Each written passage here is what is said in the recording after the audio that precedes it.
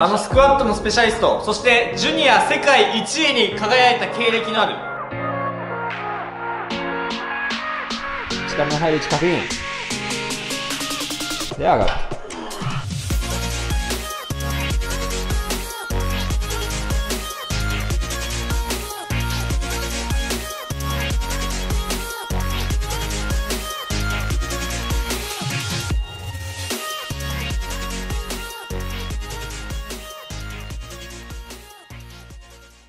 こんにちは、パーシェブロナオです。牛です。今回ですね、僕らではなくて、ちょっと別のパワーリフターの方に、スクワットのレクチャーね、はい。ポイントを教えてもらいまあのした。スクワットのスペシャリスト。そしてジュニア世界1位に輝いた経歴のあるエリートリフター佐竹さんに。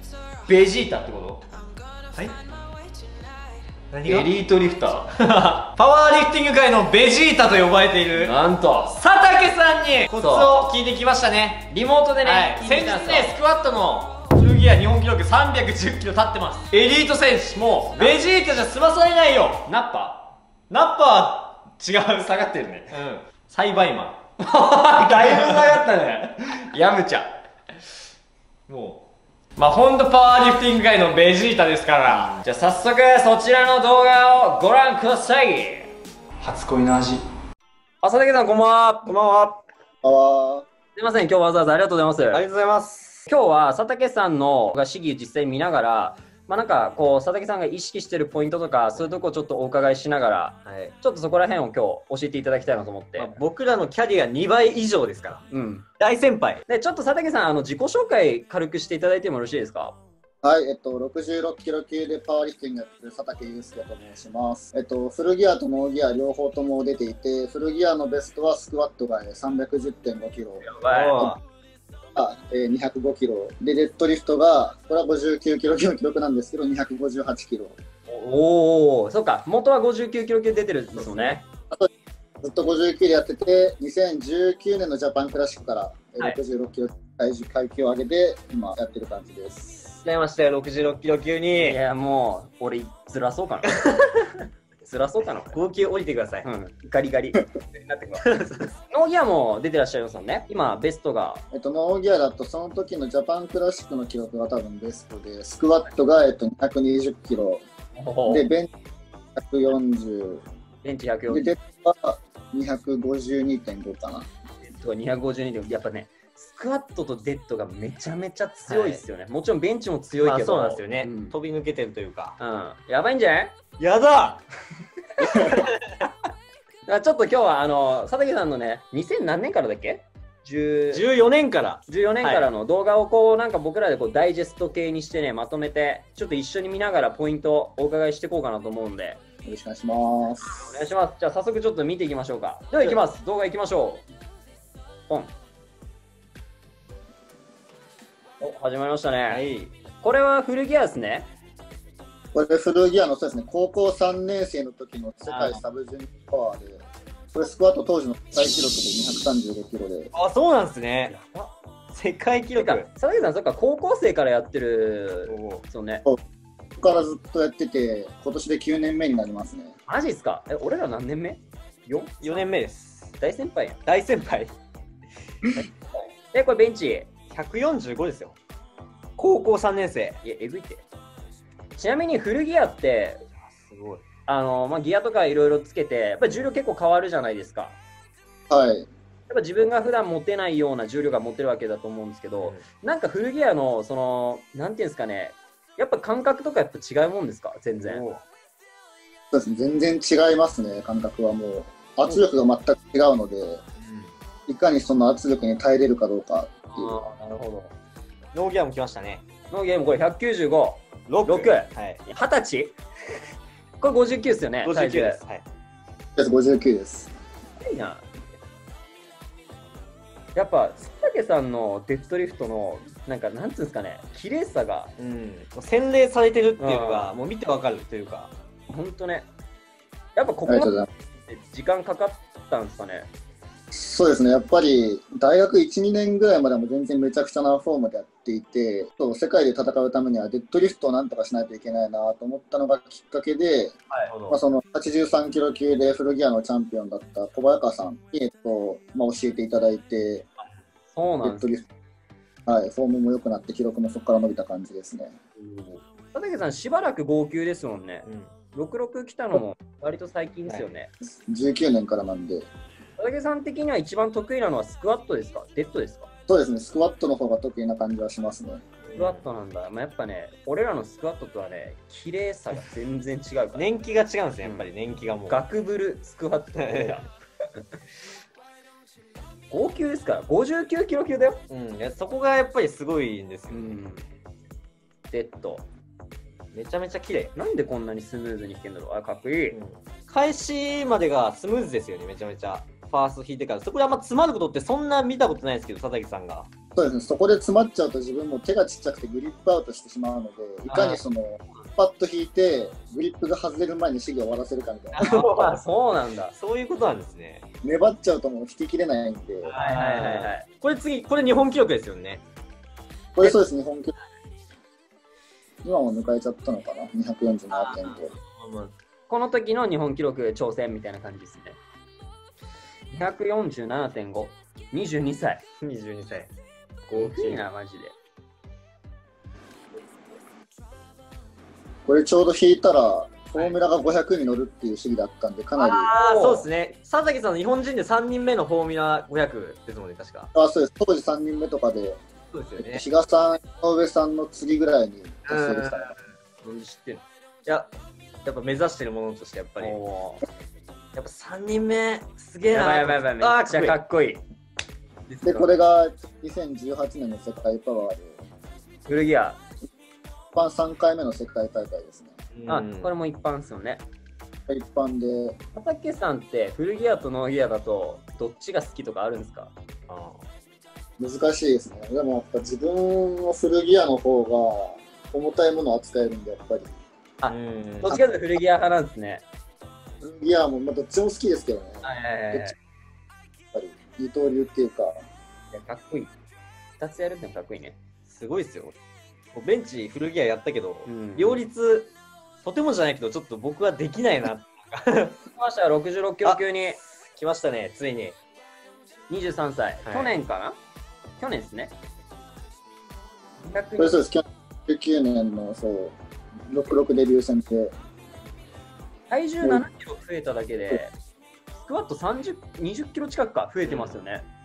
ふわっとすぐ伸びましたね。もいやう12から2ヶ月間食べまくって、1回71ぐらいまで体重増やして、そこから結局、いや、すごいですね。で、デッド252でも。めちゃめちゃ記録伸びてる。うん。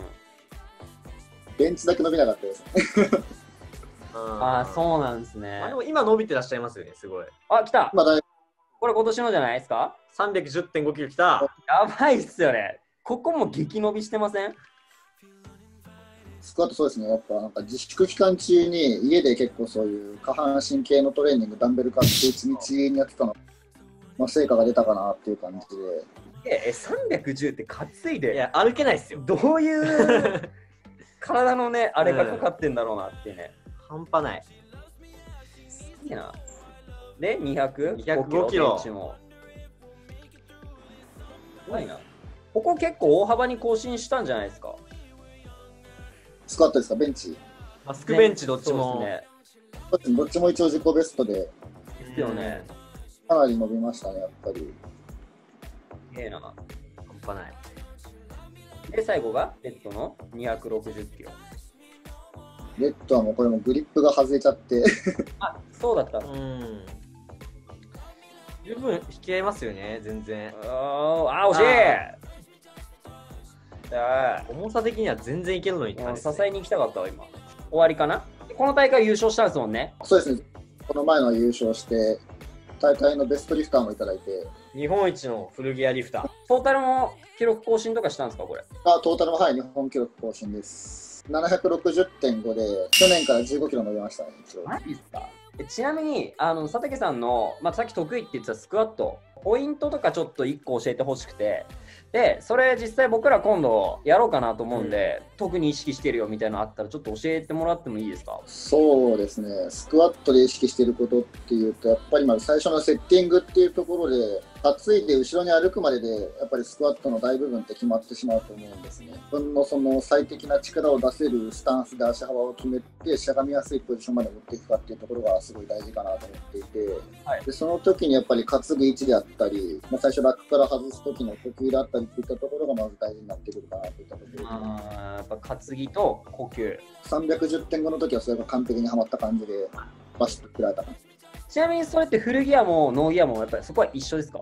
一緒なんですけど、やっぱりそのノーギアの方がそのギアにサポートされてない分だけ、やっぱりその腹圧の割合だったりとかっていったところはちょっと多めに取るように意識。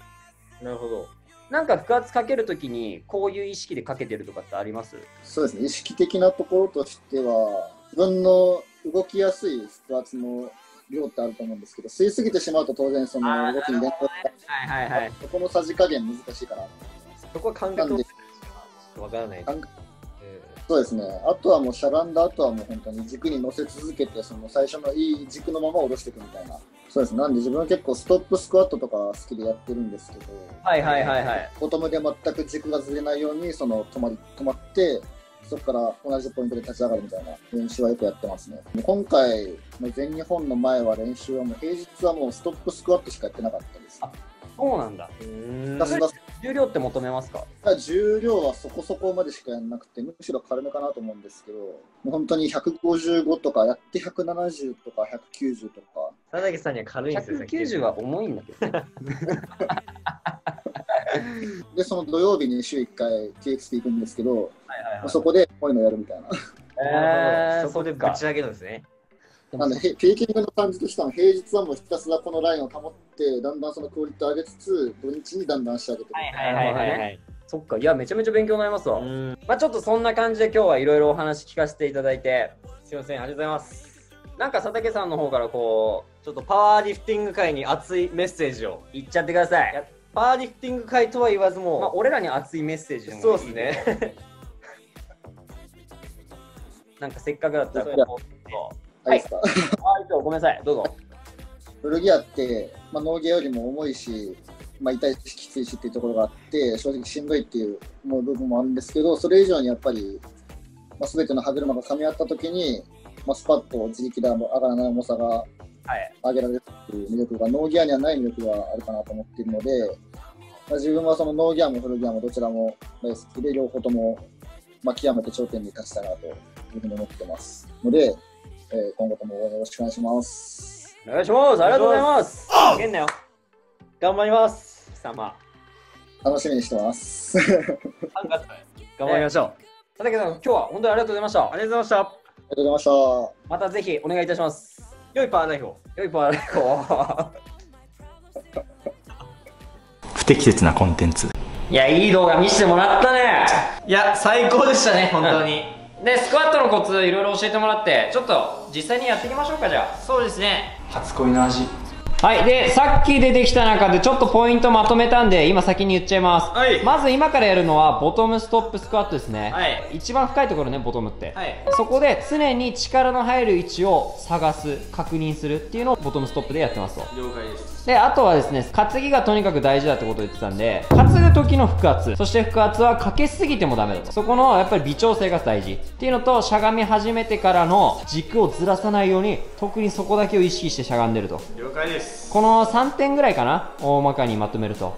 なるほど。それやらんけい！まずは担ぎの時点での腹圧のかけ。ここでしっかり腹圧をかけれるか。腹圧。かけすぎも良くないですよ。自分の中での微調整。おいいね。はいで軸をしっかり作りつつしゃがんでる時はもうとにかくその軸をずらさない。でストップして力の入る位置確認。で上がる。